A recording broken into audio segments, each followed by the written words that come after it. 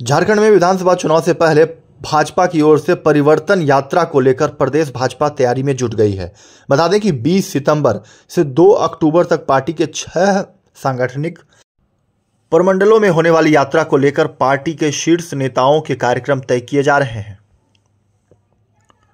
परिवर्तन यात्रा की शुरुआत 20 सितंबर को केंद्रीय गृह मंत्री अमित शाह साहिबगंज से करेंगे। केंद्रीय गृह मंत्री दोपहर 12 बजे साहेबगंज ज़िले के भोगनाडीह में स्वतंत्रता सेनानी सिद्धू कानू की जन्मस्थली पहुँचेंगे। उन्हें श्रद्धांजलि अर्पित करेंगे। केंद्रीय गृह मंत्री दोपहर साढ़े बारह बजे साहेबगंज ज़िले के पुलिस लाइन मैदान पहुँचेंगे। वहाँ वे संताल परगना परिवर्तन यात्रा का शुभारंभ करेंगे और जनसभा को भी संबोधित करेंगे।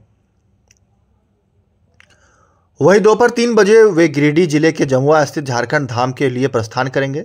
श्री शाह झारखंड धाम में साढ़े तीन बजे से परिवर्तन महासभा को संबोधित करेंगे। साथ ही धनबाद प्रमंडल परिवर्तन यात्रा की शुरुआत भी करेंगे। इधर केंद्रीय रक्षा मंत्री राजनाथ सिंह 21 सितंबर को हजारीबाग प्रमंडल की परिवर्तन यात्रा की शुरुआत इटखोरी से करेंगे। साथ ही चुनावी सभा को भी संबोधित करेंगे।